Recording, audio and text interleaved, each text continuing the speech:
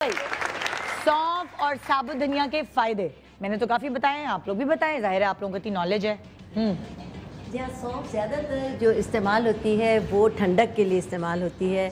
सौंफ के बहुत सारे फ़वाद हैं, इसमें विटामिन ए बहुत ज़्यादा, कसरत से मौजूद है।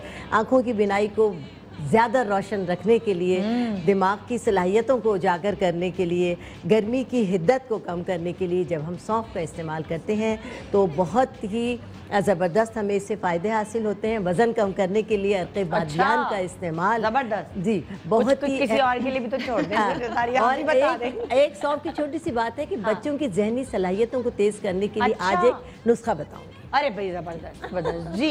अच्छा जैसे रानी आपा ने बताया लेकिन सौंफ के लिए कहा जाता है कि सौंफ आधी तिब है। आधी तिब है? बस। हाँ। उसमें हर चीज़ आ जाती है। हाँ। तो और साबुत धनिया साबुत धनिया से बहुत सारे मतलब उसकी बहुत सारे बेनिफिट्स हैं। लाइक उसके लिए कोलेस्ट्रॉल के लिए बहुत अच्छा हाँ। है।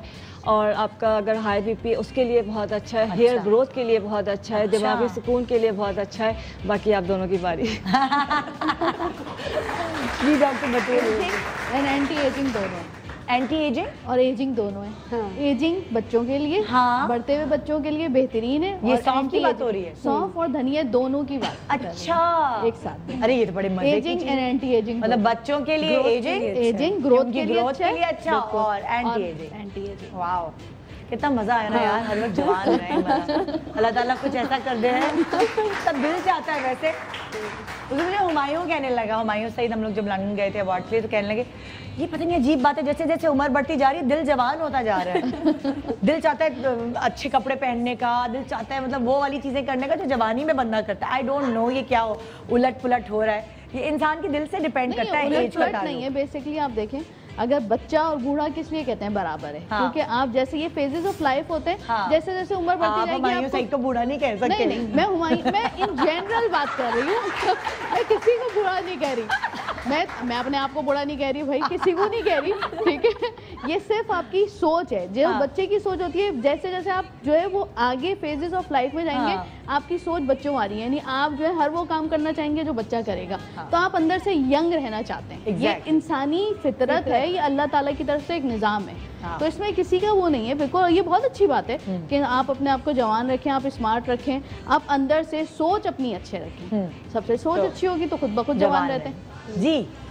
जी इतनी सारी बातें हो गई। धनिया जो है वो ब्लड थिनर है नेचुरल अच्छा black blood thinner blood thinner अच्छा यानी कि अच्छा। आपको अगर अपने खून को पतला रखना है रवा हाँ। अच्छा रखना है तो आपको धनिए का इस्तेमाल करना है। और हर वो दर्द जो अगर क्रैम्प्स वगैरह आपकी बॉडी में पड़ते हैं हाँ, हाँ। तो आपके किचन में इंस्टेंट जो आपका फ़र्स्ट एड है वो धनिया है। आप धनिया लेकर चबा लेंगे चाहे आपके दांत का दर्द हो रहा हो जैसे खिंचाव की वजह से हो रहा है आँखों में खिंचाव हो रहा है बॉडी में हम्म। खिंचाव हो रहा है धनिया आपको within five minute relief दे देगा। और यही वाला धनिया जो हम आज जिसकी बात करें। आँखों में खिंचाव हो रहा है क्या करें धनिया का? हाँ आप धनिया खा ले थोड़ा। खा लो? हाँ बिल्कुल। चबा लें हाँ। आप यकीन करें इससे बहुत जल्दी फ़र्क हाँ। पड़ता है। और दिल में खिंचाव हो रहा है दिल के खिंचाव के लिए भी अच्छा है।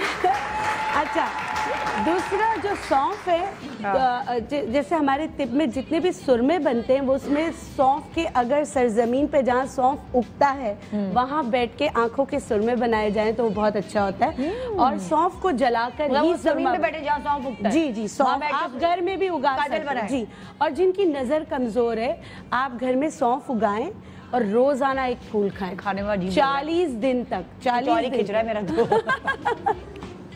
नहीं बहुत अच्छा है। ये अच्छा और सौंफ के नहीं ये तो धनिया खा रही हूँ ना। सौंफ के फूल अगर 40 दिन खा लिए जाएँ हाँ। तो आपकी नज़र बहुत तेज होती है। आप कहेंगे गोरा बच्चा पैदा होता नहीं। क्योंकि वो नारियल के फूल से होता है ना तोबा तौबा। हाँ, हाँ सौंफ का फूल आपकी नज़र को बेहतर करने के लिए नंबर वन दवा है हम्म। और वही अगर सौंफ को बिल्कुल जलाकर देसी घी में मिलाकर आँखों में लगाया जाए तो वो हम्म। आँखें रोशन होती हैं। लेकिन इतना इसको जलाना है जैसे आपको बाज़ार में सुरमा मिलता है हम्म। तो उसको अगर आँखों में देसी घी थोड़ा सा लेके गाय का देसी घी तो आप काजल बना सकते हैं इससे सौंफ का काजल जो आप आँखों पे लगाते हैं। तो उससे आपकी आँखें रोशन होती चलें सीखते हैं बनाना। जी। जी।